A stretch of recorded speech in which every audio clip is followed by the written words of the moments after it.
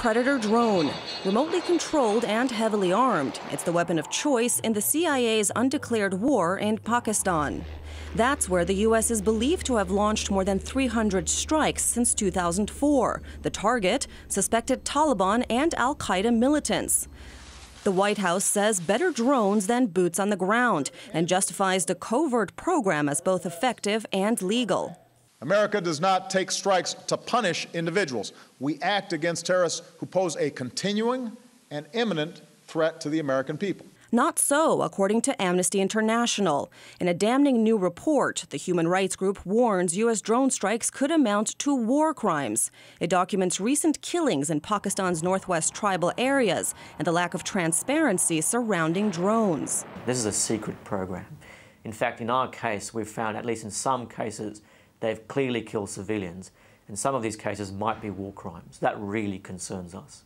One such case is that of 68 year old Mamana Bibi, killed by a U.S. drone last October. She was picking vegetables with her grandchildren when the attacks took place, a double strike. The children miraculously survived.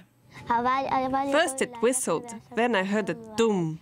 The first hit us, and the second hit my cousin. But her grandmother's body was pulverized. These missile fragments are all that remain. Amnesty documents other such cases, but its main point the need for transparency and accountability. The US must explain why these people have been killed, people who are clearly civilians.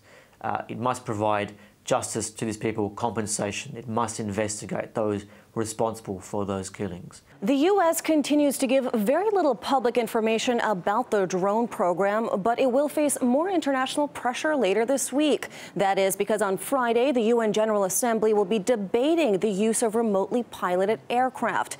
Now, in a separate report, a UN investigation looked at 33 drone strikes around the world, not just in Pakistan, that violated international humanitarian law and also resulted in hundreds of civilian casualties.